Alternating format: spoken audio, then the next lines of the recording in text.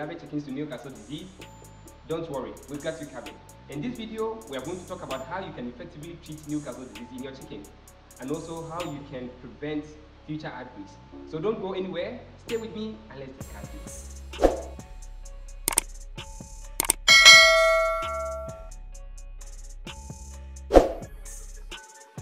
Welcome to our channel where we provide helpful tips and advice for all your family needs.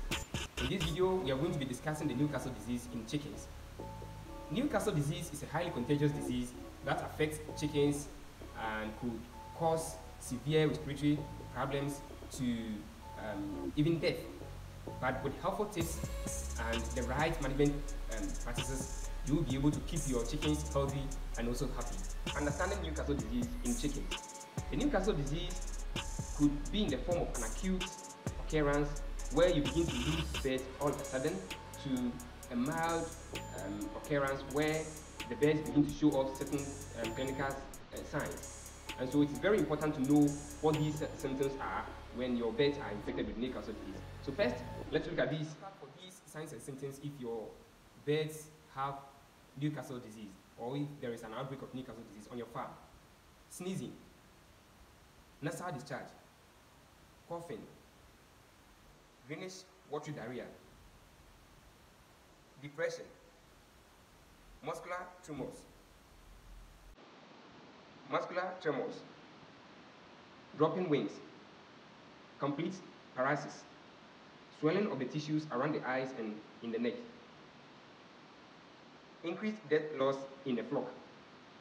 Where the birds are laying, there is a complete drop in egg production, and also there could be sudden death in your flock.